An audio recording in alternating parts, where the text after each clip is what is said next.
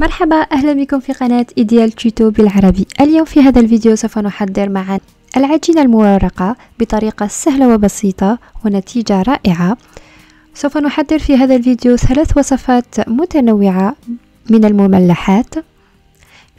إذا أنتم جدد على هذه القناة لا تنسوا الاشتراك وتفعيل الجرس ليصل لكم كل جديد Si vous souhaitez visualiser cette vidéo en français, n'hésitez pas de cliquer sur le lien qui se trouve dans la description, vous allez directement basculer à la langue française.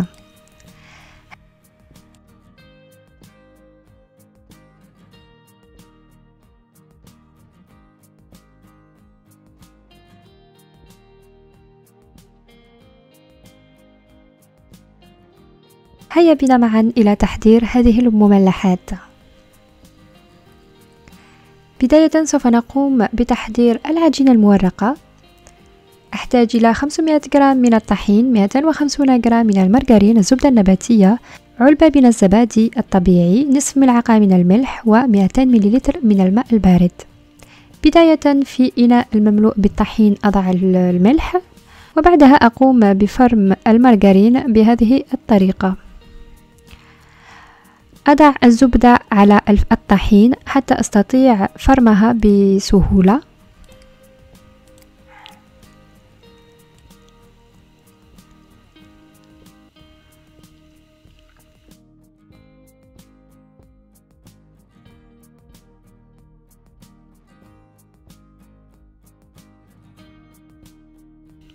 وبعدها أقوم بخلط الطحين مع الزبدة بواسطة الأصابع فقط. يجب ترك قطع الزبدة كما هي. فالزبدة هي التي تساعدنا على الحصول على عجينة مورقة. وبعدها أقوم بإضافة علبة الزبادي. وأضيف تدريجيا الماء البارد حتى أتحصل على عجين. بالنسبة لي أضفت 200 مليلتر من الماء البارد.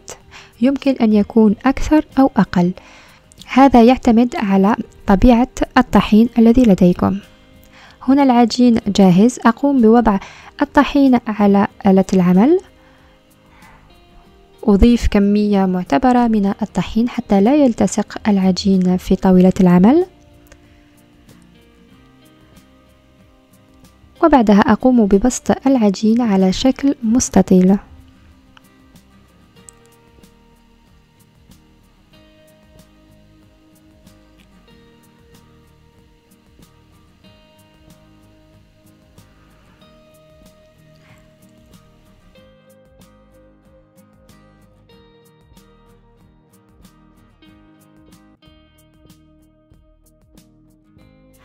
أقوم بفتح العجينة على سمك رفيع وبعدها أقسمه إلى ثلاثة أقسام بهذه الطريقة.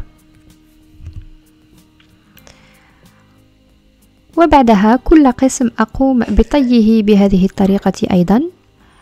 أقوم بطي الطرف الأول أضعه فوق الطرف الثاني. أقوم بطيه هو الآخر. وفي الأخير أخذ هذه الطية. وأضعها في الوسط. وأطوي مرة أخرى. وهنا العجينة المورقة جاهزة. كما ترون الطريقة سهلة بسيطة وجد سريعة.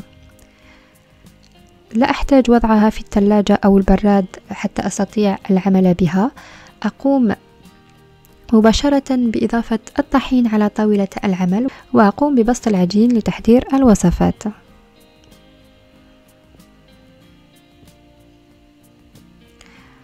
هنا سوف أحضر وصفة فولوفون. لا, لا أعرف آه، اسمها بالعربية آسفة. أخذ هذا المول الدائري وأخذ دائرة أصغر منها. استخدمت المول المخصص للجيب الحلواني.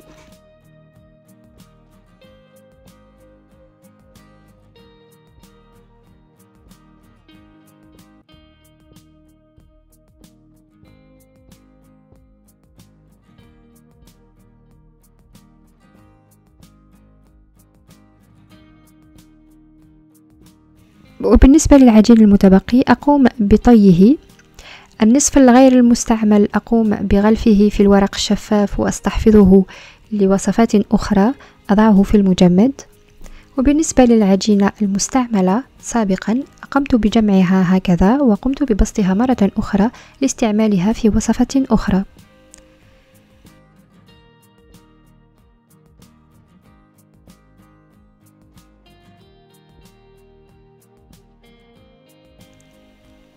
كما ترون قمت بقطع العجين على شكل دوائر كبيرة.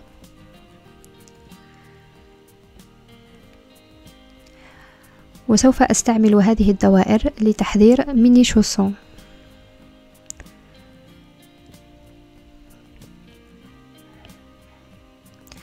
هنا أعود إلى وصفة الفولوفون. في الصينية التي تدخل إلى الفرن أضع الدوائر الكاملة. أقوم بدهنها بواسطة بيضة. أستخدم الفرشاة. أحاول ألا أوصل البيض على حواف العجين حتى العجينة المورقة تنتفخ في الفرن وإلا يمكن أن ألا تنتفخ لأن البيض يستطيع منعها من الانتفاخ.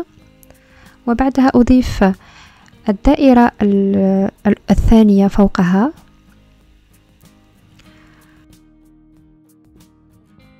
أدهن وجهها هي الأخرى بالبيض حتى نتحصل على لون ذهبي عند الاستواء.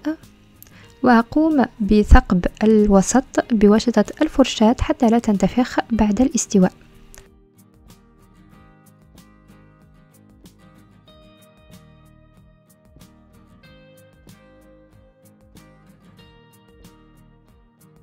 وها هي عجينة الفولوفون. جاهزة.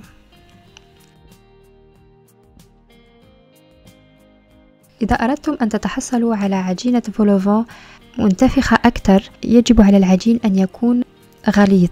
بالنسبة لي العجينة كانت رفيعة ولهذا تحصلت على هذا الارتفاع. وهنا أخذت المرتديلا وقمت بفرمها ناعما. أضفت القليل من الجبن المبشور وأخلطت المزيج جيدا. أضع هذا جانبا ثم أعود إلى وصفة ميني شوسون. أقوم بفتح الدوائر حتى أتحصل على شكل بيضاوي. أضع البيض على نصف أطراف العجين وفي الطرف الآخر أقوم بوضع الحشو المتكون من المرتديلا والجبن المبشور.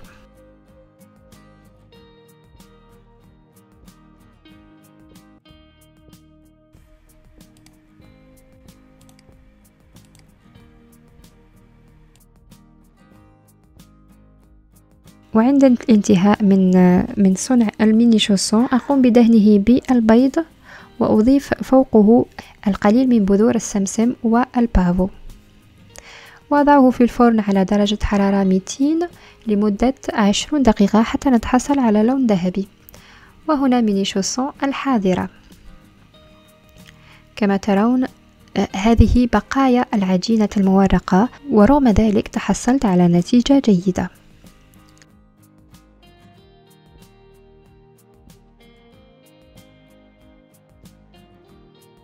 وفي هذه الجهة سوف أحضر الحشو للفولوفان. في المقلاة وضعت القليل من الزيت بصلة مفرومة فطر مفروم أنسمه ببعض من الملح والفلفل الأسود.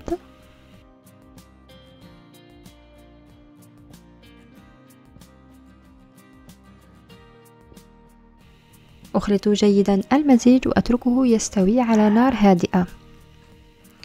ومن جهة أخرى عندي هنا صدر الدجاج مقطع إلى قطع صغيرة.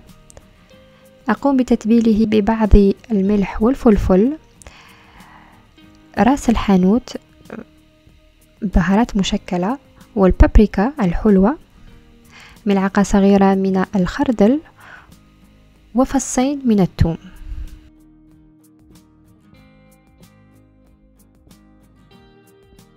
أقوم بالخلط الجيد للدجاج حتى يتنسم بهذه التوابل وفي نفس الوقت أخلط أيضا البصل والفطر حتى لا يحترق. وبعدها أضيف الدجاج إلى البصل والفطر وأخلط جيدا.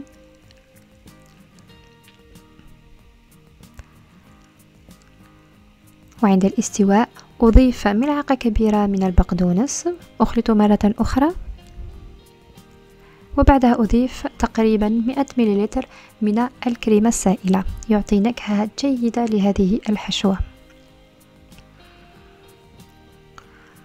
وهنا الحشوة الفولوفان جاهزة أتركها جانبا حتى تصبح باردة.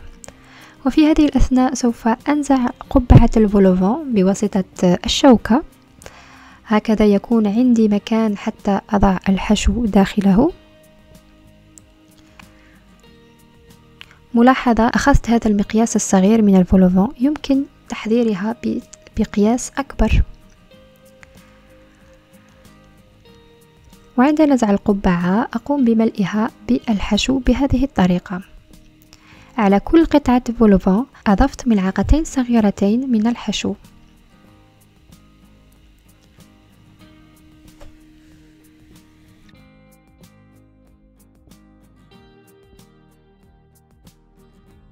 إذا عجبتكم وصفة ال vol-au-vent لا تنسوا ال like.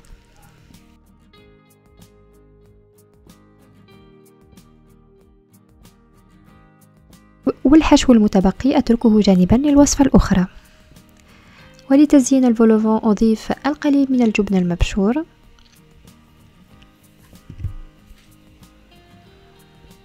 والقليل من البقدونس.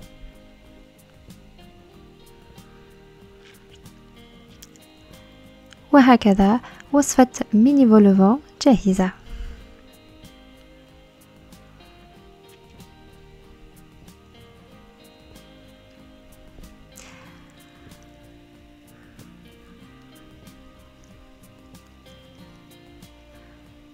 هنا عندي chausson وهنا عندي ال vol-au-vent وبالنسبة للحشو المتبقي سوف نحضر وصفة أخيرة. أخذ الشعيرية الصينية أضعها في البولة وأضيف الماء الساخن وأتركها لمدة خمس دقائق. كما ترون الشعيرية تصبح طرية. أقوم بقطعها بواسطة المقص بهذه الطريقة حتى تكون قطع صغيرة. وبعدها أقوم بإضافة حشو الدجاج والفطر والقليل من الجبن المبشور.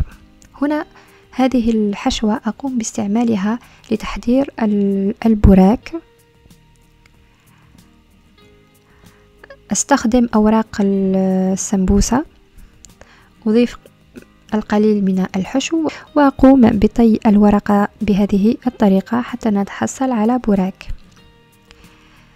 ملاحظة أنا استعملت أوراق السمبوسة يمكن لكم استعمال العجينة المورقة المحضرة سابقا لتحضير مملحات. وهنا فيديو اليوم قد انتهت. إن شاء الله أعجبكم. إذا أعجبكم محتوى الفيديو لا تنسوا ال like ال share وال subscribe. وإلى الملتقى إن شاء الله. bye.